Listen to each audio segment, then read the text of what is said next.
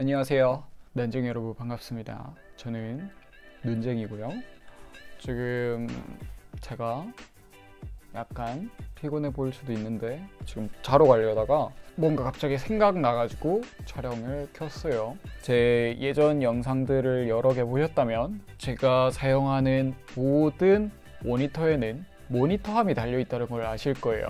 근데 모니터함을 쓰는 이유는 첫 번째로 모니터 스탠드 부분이 모니터 하단에 자리를 차지하기 때문에 그 부분을 활용을 하기 위해서 그런 공간 창출성 외에도 높이가 조금이라도 안 맞는다 아니면 뭐 기울기가 조금이라도 안 맞는다 이런 부분들을 세세하게 막 이렇게 세팅을 해놓고 사용할 수 있어가지고 모니터를 쓰는 곳이다 하면 모니터암을 전부 다 쓰고 있어요 제가 메인 모니터, 서브 모니터 그리고 사무실에 전부 다 사용하는 게 에르고트론의 LX 모니터암을 사용하고 있는데 그 모니터암으로는 저번 리뷰했었던 그 49인치 모니터를 고정을 할 수가 없었어요. 근데 Ergotron에서는 그런 딥다 크고 무거운 모니터를 고정을 시키라고 만든 모니터암이 있어요. 그 모니터암을 보여드리기 위해서 모니터를 가지고 왔어요 요거는 LG에서 나온 32대 9 비율 모니터인 모델명이 49WL95C입니다. 이것도 저번에 리뷰했던 모니터랑 사이즈도 49인치로 동일하고 모니터 무게도 스탠드 제외하면 비슷비슷합니다. 12.6kg구나. 근데 무게만 봐서는 LX 모니터 암으로도 어찌저찌 하면 가능할 것 도 같긴 한데 안 됩니다. LX 모니터함이 최대 11.3kg까지 장착이 가능한데 이게 모니터 암들 스펙에는 모니터 무게만 있는 게 아니라 모니터의 사이즈도 있어요. LX 모니터함은 21대 9 비율 모니터들까지만 장착 가능하고 32대 9 비율 모니터는 그냥 장착이 안 돼요. 기본적으로도 사이즈는 34인치까지만 가능하고. 근데 제가 지금 오늘 들고 나온 이 모니터함은 무게는 19.1kg까지 장착 가능하고 사이즈는 42인치까지 장착 가능하다고 나와 있어요. 네 42인치요. 근데 이 모니터는 49인치예요. 근데 그 시중에 사용하시는 분들은 HX 모니터함을 49인치 그 모니터함으로 사용하시는 분들이 굉장히 많고 다 잘 된다고 해요 일단 LX하고 비슷하게 포장이 돼 있는데 훨씬 더 고급지게 포장돼 있네요. 이쪽은 이것도 막 고무 마감까지 돼 있네요. 여기 벨크로도 들어있고 뭔가 더 신경 쓴 듯한 게 포장이 돼 있네요. 그리고 보통 이제 대사월이 75mm하고 100mm까지 장착 가능한데 그거를 200mm까지 확장할 수 있는 확장 브라켓 을 추가로 넣어주네요. 그리고 뱃사 그런데 사용하는 MA, MB, MC 이렇게 두께 사이즈 다른 나사가 4개씩 들어있고요. 이것도 그 확장 브라켓 같은 데 사용하는 나사 또 들어있고 스티로폼을 벗기면 음 모니터함이 있어요. 무게가 엄청 묵직한데? 원래 어거트론 모니터함도 무게가 꽤 있는 편인데 이거는 개 무겁네? 포장도 뭔가 달라요. 제품 부품도 좀 다르게 돼 있네요. 마운팅 나사랑 플레이트들도 있고요. 여기까지 부품 끝이에요 일단 이 제품은 제가 예전에 보여드렸던 것들하고는 다르게 색깔은 화이트입니다 근데 저는 그때 블랙 색상도 말씀드렸듯이 그냥 유광 블랙을 좋아하는 게 아니고 무광을 좋아하는데 이 제품도 무광으로 돼 있어요. 그래서 화이트 도색인데 깔쌈하게 돼 있어요. 그리고 제품이 LX 라인업에서 그냥 색깔만 좀 다르게 칠한 제품이라기보다는 제품 구성 자체가 완전 다르네요. 중간 부분 윗부분 보시면 케이블 잠가주는 것도 벨크로로 돼 있어요. 원래 케이블 타이로 묶어야 되고요. 이쪽 부분은 아래쪽만 캡으로 돼 있는데 아래쪽은 캡으로 돼 있고 위쪽은 벨크로로 돼 있습니다 그리고 아까 전에 벨크로 여기 추가로 준 거 보면 이 벨크로가 맛이 가면 벨크로 추가하라고 넣어 준 거겠죠 그리고 하단 부분도 좀 많이 다릅니다 하단 부분도 원래는 하나짜리로 돼 있는데 여기는 두 개짜리로 돼 있고 모양 자체도 굉장히 다르게 생겼어요 그리고 손잡이도 엄청 고급스럽게 돼 있네 그리고 로고도 좀 다른 느낌으로 박혀 있지 않아요?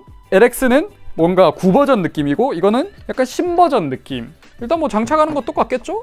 요거를 아! 이것도 꽤 얇은 책상인데 안 들어가네요. 육각 렌치. 이걸 이용해서 넓혀줘야겠죠? 요거를 그리고 오 부드럽다. 그리고 지금 LX 모니터함이랑 여기서 좀 장착 방식이 다른 게 원래 LX는 여기랑 이제 헤드랑 같이 붙어 있는 형태인데 위에랑 헤드랑 떨어져 있어요. 그래서 헤드를 모니터에 이렇게 해서 장착을 한 다음에 그냥 이렇게 장착하고 나사를 조이면 되는 것 같아요. 모니터 조이는 나사는 Ergotron은 편리한 게 hand screw 4개를 넣어주기 때문에 이거는 정말 좋아요. 스탠드 바닥 봐. 와 스탠드가 쇠땡이로 돼 있네. 근데 필요가 없으니까 모니터만 꺼내면 됩니다. 꺼내서 장착하면 파손의 위험이 있기 때문에 이렇게 스티로폼에 안착이 된 상태로 VESA 홀에 그냥 장착을 시켜줄게요. 이 모니터는 200mm짜리 배사울 있는 건 아니고 100mm짜리 배사울이 있기 때문에 이렇게 넣고 이렇게 해서 와 이제 난관이다 이거 으, 좀 벗기고 됐니? 어, 어. 일단 기본 세팅으로는 모니터가 밑으로 축 내려가요. 일단 그건 둘째 치고 일단 고정을 시켜야 되니까 잠시 안착을 시킬게요. 고정시키는 나사는 제가 봤을 때는 이거 같거든요. 와셔도 같이 들어있고 여 지금 축 처지는 거는 머리 부분에 쪼는 게 있거든요. 좀 모양이 다르긴 한데 방향은 똑같아요. LX랑 됐다. 머리 축 처지는 거는 아랫부분에 있기 때문에 아랫부분 쪼으시면 되고요. 일단 지금 써봤을 때 이 모니터 정도는 가쁘네요. 요거 머리 움직이는 거 고정되는 것도 뭐 내가 원하는 각도에서 딱딱 고정되죠. 그리고 높낮이 조절도 약간 짧게 이렇게 하는 것도 딱 살짝 내려가서 고정 탁 되고 잘 되죠. 그리고 당연히 오씨 당연히 피벗도 되고요. 이 모델은 피벗이 그냥 되는 게 아니라 이게 360도 돌아가기 때문에 이렇게 모니터 가지고 돌리면서 놀 수도 있어요. 지금 영상으로 올려드린 것도 모니터암 리뷰 컨텐츠를 몇 개 올리긴 했지만 그런 영상으로 올린 것 외에도 모니터암을 워낙 좋아하는 사람이다 보니까 가성비 모니터암들도 굉장히 많이 구매를 해서 사용을 해봤어요. 근데 진짜 퀄리티가 진짜 너무 기대 이하여가지고 리뷰를 안 올린 게 정말 많거든요. 근데 제가 왜 그런 걸 리뷰도 안 올리고 대부분 Ergotron 모니터만 사용을 하냐면 이게 품질이 너무 차이가 심해요. 에이 뭐 그 모니터 해봤자 그 막 움직이고 이렇게 하고 뭐 그냥 달 수만 있으면 되지 뭐 그 품질이 뭐가 중요하냐고 하실 수 있는데 얼마 전에 애플에서 Pro Display XDR도 해가지고 모니터 나왔잖아요. 근데 그 스탠드가 막100 몇십만 원 해가지고 사람들한테 욕 개쳐먹었잖아요. 근데 지금 실제 나오고 사람들이 그 스탠드를 써보고 어? 생각보다 너무 좋다라고 하는 이유가 퀄리티 때문이에요. 물론 뭐 대부분 모니터 사용하시는 분들은 한 번 위치 고정시켜두고 잘 이렇게 움직이진 않지만 생각보다 자주 높낮이 조절이나 이런 모니터의 위치를 조절하는 사람들도 있단 말이에요. 근데 그런 사람들은 이 모니터 움직이는 게 뻑뻑하고 내가 원하는 대로 바로바로 바로 안 움직이면 굉장히 스트레스를 받을 수 있어요. 저가형 모니터 함들은 고정시키는 거는 어찌저찌 비슷한 수준까지 흉내는 내는데 움직이는 느낌 자체가 이거랑 너무 달라요. 저가형 모니터 함들은 한번탁 움직이고 거기서부터 계속 움직이는 힘이 1이라고 가정을 하면 한 뭐 3, 4 이 정도 힘을 줘야 움직이기 시작해요. 그래서 이게 힘을 살짝 줬을 때 부드럽게 싹 이렇게 움직이는 게 아니고 갑자기 힘을 주다가 탁 하고 탁 이렇게 움직입니다. 그래서 세밀하게 위치 조절하는 게 좀 많이 힘들어요. 뭐 이거 같은 경우는 이렇게 살짝만 힘 주면 0.5cm, 1cm 이런 식으로 움직일 수 있는데 그 친구들은 한 번에 2, 3cm씩 이렇게 막 툭툭 움직이니까 정확히 내가 원하는 높이, 원하는 각도의 조절이 안 돼가지고 그게 굉장히 불편해요. 그거는 이제 기능적인 부분이고 그거 말고도 제가 어거트론을 쓰는 이유가 도장이라든지 재질의 퀄리티가 엄청 좋습니다. 이것도 이전에 LX 거하고 재질이 똑같은 것 같은데 이게 알루미늄이라고 하더라고요. 이 알루미늄에다가 도장돼 있는 게 너무 깔끔하게 잘 돼 있어요. 근데 이 뭐 도장이나 이런 하나하나 부분의 외부적인 퀄리티가 좋다고 해서 뭐 그거 해봤자 굳이 그렇게 사야 되냐고 할 수 있는데 이런 퀄리티가 합쳐져 가지고 고급짐을 보여준다고 해야 되나? 여러분들 제가 어떤 사람인지 아시잖아요 가격이 비싸도 퀄리티가 좋으면 그만큼의 가치가 있다고 생각하고 저는 구매를 합니다 근데 어거트론 모니터함이 제가 사용을 했던 모니터함 중에서는 그걸 투자할 만한 가치가 있다고 생각을 했기 때문에 구매를 한 제품이고요.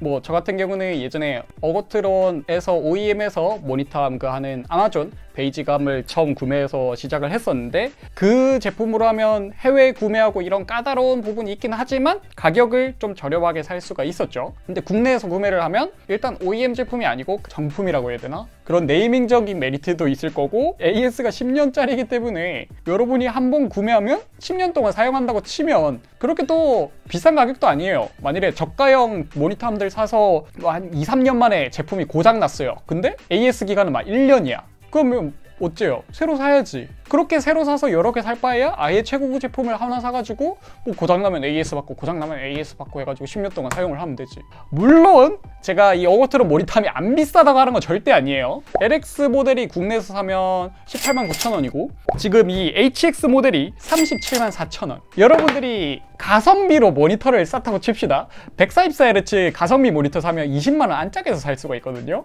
근데 모니터암을 LX 모니터암을 사요. 그러면 그거는 급이 너무 안 맞는 거예요. 왜냐면 애초에 그런 모니터들 자체도 모니터 자체의 퀄리티도 굉장히 구린데 모니터암 퀄리티만 좋아서 뭐 하겠습니까? HX 모니터암은 애초에 이런 32대 9 비율 모니터들은 다 100만 원, 막 100 몇십만 원 이렇게 하기 때문에 가격대가 다 비싸서 충분히 살 만한 가치가 있고요. LX 모니터암 같은 경우는 제가 사용하고 있는 모니터가 막 100 몇십만 원 막 이렇게 하기 때문에 모니터 가격 대비해서 그렇게 비싼 가격은 또 아닌 거죠. 그리고 그런 모니터들이 그런 저렴한 모니터암을 쓰다가 만일에 모니터암이 고장이 나가지고 갑자기 쾅 떨어져서 모니터 액정이 나갔어.